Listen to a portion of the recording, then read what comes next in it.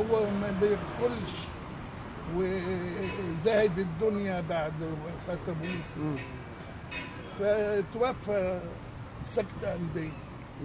لكن يعني خليني برضه أوضح لحضرتك إن بعد الأنباء اللي ترددت في الأونة الماضية بيعاني من مرض الكورونا مرض الكورونا وجلطات في الرئة جاله كان كان. ضحيه المرض كلنا جالنا كورونا مم. وعافينا منه. لكن مش السبب الكورونا في سبب آخر. إيه، إن كان قيل بياخد مخدرات بطلها من زمان. مم. خليني خلينا كده نتكلم طيب عن طبيعة العلاقة اللي كانت بتجمعك بالفنان الراحل سامر عادل سامر عادل وأيضا ابنه يعني اللي توفى أنا متربي. مع سامي العدل وإخواته. وأنا أنتجت قبله. ومثلت قبله. وأحمد من دور ولادي ومتربي في بيتي. فسامي الله يرحمه كان أخ مش زميل. أخ. حضرتك اتكلمنا عن أيام الشاب الأخيرة. كان في تواصل بينك بين حضرتك وبينه؟ لا ما, ما كانش في تواصل. كان يكلمني كل مدة يسأل عليا. هو وخالد وأمه ماجدة نور الدين الصحفية حبيبة قلبي الله يصبرها يا رب. طيب كلمنا كلمنا كده يعني برضه حابين نفهم منك أكتر. رحله علاج آه، نجم الفنان سامر عادل كان هنا في مصر الأيام الأخيرة ولا آه، سافر آه، يعني كان هنا. آه. كان هنا بقاله كام مم. طيب يعني برضه كنت قلت لنا آه، في بداية البث المباشر انه كمان آه، كان يعني عايش فترة طويلة آه، متأثر بوفاة الوالد، الوالد اللي توفى يعني عام 2015 آه. يعني كل المدة دي كان زهد الدنيا بيعاني من إزاي. يعني يعني زهد زهد الدنيا.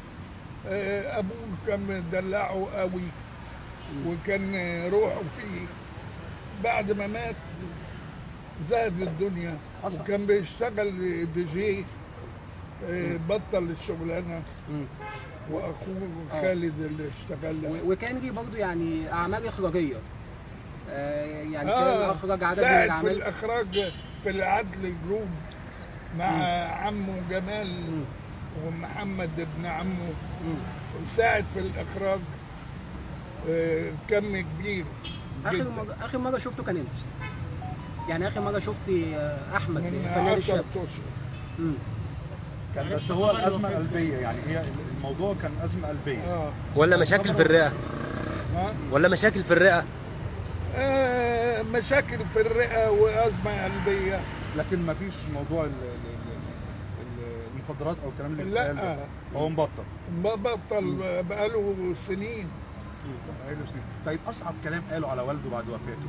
كان بيكلمك يقول لك إيه من 10 شهور من آخر مرة قابلته أو اتكلمت معاه؟ آه، فاكر يا عمي؟ طبعا آه، فاكره آه، أنا سامي أخويا. الله يرحمه ويغفر له لهم كلمة بقى. الله يرحمه. وقلبي مع أمه وأخوه خالد ودول ولادي. الله يرحمه. طب معلش طب حسيت حضرتك أول الحاضرين هنا يعني ما كانت تربطك علاقة قوية بيهم؟ احكي لنا عن ده أكتر. آه. لأن شايفينك بقالك ساعة قاعد يعني. ومنتظر الجثمان أنا فوجئت طبعا النهارده وأنا ساكن في أكتوبر ما حسبتش المدة وجيت بدري. لكن علاقتي بيهم من زمان واخواته عمامه احمد خبر الوفاة جه على حضرتك إزاي؟ ها؟ خبر الوفاة عرفته منين؟ من الفيسبوك عن طريق ال social media يعني ولا عن طريق الأسرة خلينا نقول أشقاء آه،. أحمد العدل حضرتك بقى شايفين البكاء ما بين حضرتك وال- والتأثر الجامد تأثر حزن يعني حادث الدموع في عينيك آه. لأن سامي آه، أخويا وابنه زي ابني طيب خليني برضه أسألك يعني في الأونة الماضية كان أحمد العدل بيعمل إن هو يرحب ب- بوالده؟ لا.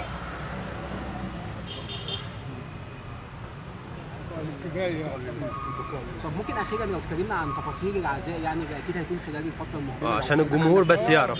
العزاء هيكون فين؟ في جامع الشرطة. الشيخ زايد؟ آه تمام حابب توجه أي كلمة أخيرة يعني في, في نهاية اللايف؟ لوالدته ولمحبينه وللأسرة مم. والبقاء لله وربنا يصبرك يا ماجدة وخالد هتشارك يعني في لحظات الوداع الأخيرة في آه، مقابر طبعاً. آه، مقابر الأسرة؟ آه طبعا مم. آه، جثمان هيطلع من مسجد الفاروق إلى مقابر السيده نفيسه؟ آه شكرا جزيلا لحضرتك يعني البقاء شكراً لله البقاء لله. البقاء لله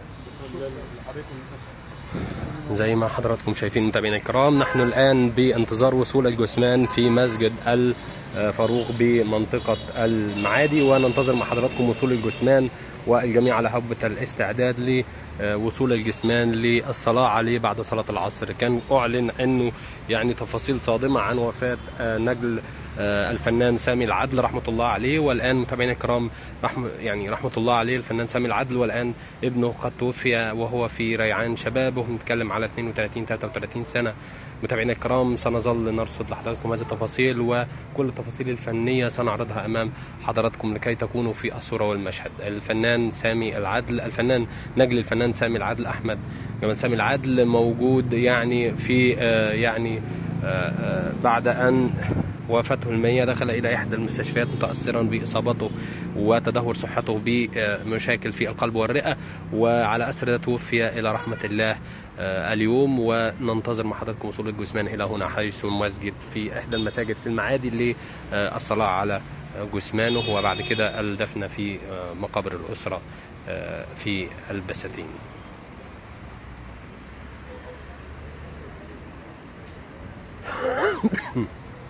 شاب من الشباب أدعو له بالرحمة بالرحمة والمغفرة.